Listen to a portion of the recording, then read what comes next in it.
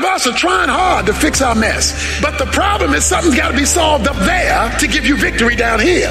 If you ignore the spiritual, you will not get help from heaven while you're battling the warfare on earth. Whatever you bind, whatever you lose, it says, I will have already done it in heaven. You will only get victory on earth because you have engaged the authority of heaven God's way. And when you and I do that, now we'll see some binding and loosing